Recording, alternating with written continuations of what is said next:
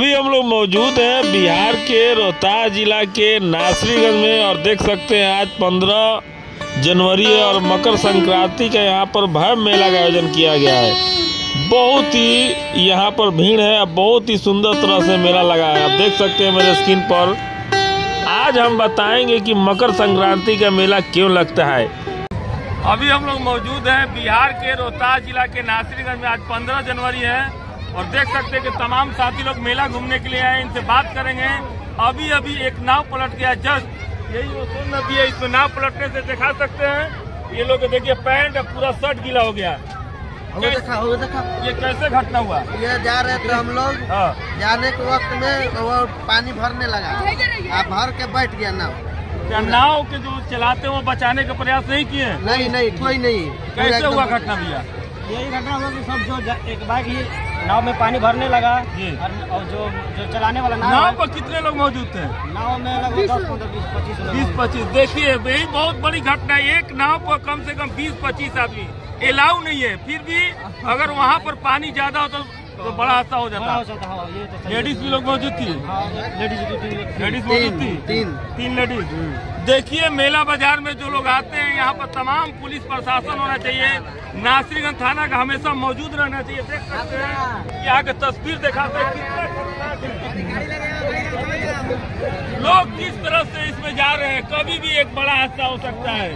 और जिस तरह से लोग नाव पर बैठ रहे अभी अभी जस्ट पाँच मिनट पहले वो नाव पलट गया, उसमें लेडीज़ भी मौजूद थी। यहाँ पर बढ़िया घटना हो सकता था, लेकिन पानी कम होने की वजह से यहाँ पर बहुत सारे लोग बच गए। इसका पिछला इतिहास मकर संक्रांति के दिन ही गंगा जी भागीरथ के पीछे पीछे चलकर कपिल मुनि के आश्रम से होकर सागर में जा मिली थी। बहुत ही बड़ी आप लोग को अपडेट बता रहे हैं कि मकर संक्रांति का मेला क्यों लगता है। देख सकते हैं हमारे साथ जो मौजूद है ये सोन नदी है नासिरगंज का देखिए किस तरह से महिलाएँ ये सोन नदी में खतरा को नापते हुए उतर रही है। अभी अभी उसी सोन नदी में एक हादसा हुआ, जो नाव पलटने से बाल बाल सभी लोग बच गए।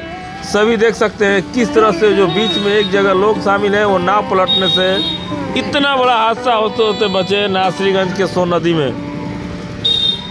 और आप लोग को इतिहास बता दूँ कि मान्यता यह भी है कि इस दिन यशोदा ने श्री कृष्ण को प्राप्त करने के लिए व्रत किया था और इस दिन गंगा सागर में स्नान, दान के लिए लाखों लोग को भीड़ होती है।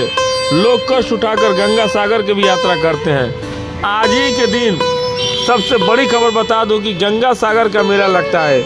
लोग कहते हैं कि सब तीर्थ बार बार और गंगा सागर एक बार। इसलिए आप लोग एक बार मकर संक्रांति के गंगा सागर के लिए ज़रूर लाइक करें और इस वीडियो को पूरा देखें और अंत तक देखें। क्योंकि यह मेला बिहार के रोहतास जिला के नासरीगंज में काफ़ी भय पुराना मेला लगता है वहाँ पर। काफ़ी दिनों से नासरीगंज में मेला का आयोजन किया जाता है। तमाम यहाँ पर दो दिन मेला लग जनवरी और पंद्रह जनवरी यहाँ पर दो दिन मेला का आयोजन होता है। यहाँ पर काफ़ी पिछले दिन का सारा रिकॉर्ड है कि नासरीगंज में काफ़ी दिनों से चौदह जनवरी और पंद्रह जनवरी, यानी कि मकर संक्रांति और का काफ़ी ये मेला लगते आ रहा है वहाँ पर, काफ़ी लाठियाँ बिकती है, तलवार बिकते हैं तरह तरह के वहाँ पर होटल आप देख सकते हैं। यही वो सोन नदी है जिसमें एक नाव पलट गया और नाव पलटने से आप देख सकते हैं ये सभी यात्री सुरक्षित बच गए। बहुत बड़ा ये हादसा टल गया ये नासरीगंज के जो मेला है 2024 का। आगाज़ हुआ है, देख सकते हैं। तमाम तरह के यहाँ पर लोग, सभी वर्ग के लोग यहाँ पर घूमने आए थे। देखिए किस तरह से लोग यो ठंडा का दिन है और मौसम में काँप रहे हैं नाव पलटने से। वहाँ पर सभी प्रकार का, वहाँ पर बचाने के लिए कार्यक्रम होना चाहिए, वहाँ पर टीम होना चाहिए बचाव करने के लिए एनडीआरएफ की। किसी प्रकार का वहाँ पर घटना हो तो वहाँ पर एनडीआरएफ की टीम तैनात होना चाहिए। और वहाँ पर पुलिस प्रशासन का ऑन ड्यूटी होना चाहिए, लेकिन कोई भी वहाँ पर किसी का मौजूदगी नहीं था, ना पलट गया, लोग तरह तरह के वहाँ पर चर्चाएँ कर रहे थे। देख सकते हैं किस तरह से अपने जीवन को जोखिम में डालकर ये सो नदी पे लोगों ने मेला में जान को जोखिम डाल के घूमने के लिए नाव पर बैठ रहे हैं। कम से कम एक नाव पे 20 से 25 लोग। इतना नाव पर सवार होने के लिए अनुमति नहीं है। एक नाव पर 20 से 25 लोग सवार होना ये कहीं ना कहीं गलत है। इसी के हादसा का शिकार हुआ ना। देखिए, किस तरह से लोग बीच सोन में काँप